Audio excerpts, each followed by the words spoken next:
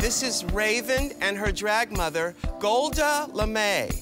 She's totally freaked out about walking. I would, just was very nervous that she was gonna fall. I mean, she doesn't walk in heels, but she's sparkling, that she's loving it.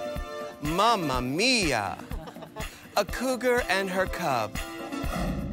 Pandora Boxx and her drag mother, Litter Box. This is the Box family. And she's going to show us her box later. oh, dear I'm feeling really good about our outfits. They're kind of like, you know, showgirl today, showgirl yesterday. There's a sense of comedy about it. It's 10 o'clock. Do you know where your drag mother is? This is Jujubee and the Contessa Touche. My drag mother is feeling spectacular. She has stepped into the boundary of Jujubee and she feels wonderful. I'm pretty, Mama. I'm a pretty girl. Tatianna and her drag mother, Annalisia. My drag mother does have a limp, but um, she's pushing through it and she's not letting it stop her. no, you were gonna phone me later.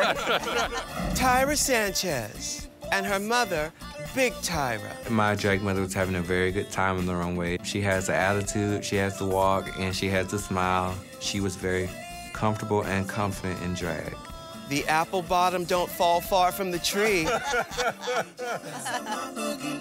it's time for our mothers and daughters to make their performance debut. Ladies and gentlemen, this is the main event.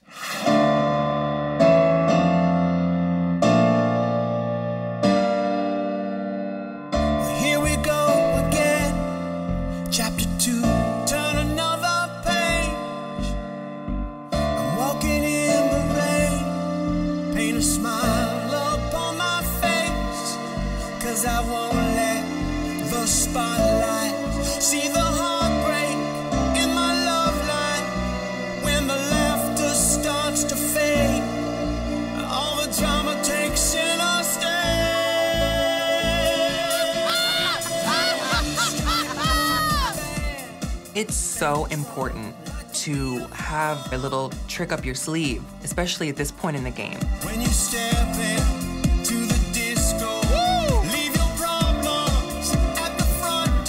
My drag mother's funny, and we had a good rapport. We're having fun, we're campy, and I'm thinking that I'm giving the judges what they want.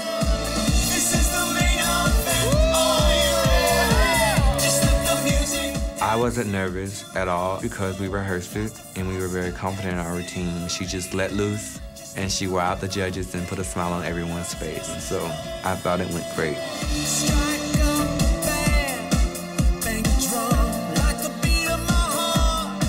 After we've run through it, you know, a million times, and she freezes kind of, and I'm like, Mom, my place in the competition is on the line if we don't get this right. And it looks messy. Tell she's getting tired, and I can sense, like, she's not gonna make it back. So as the music ends, I grab her and take her to the back.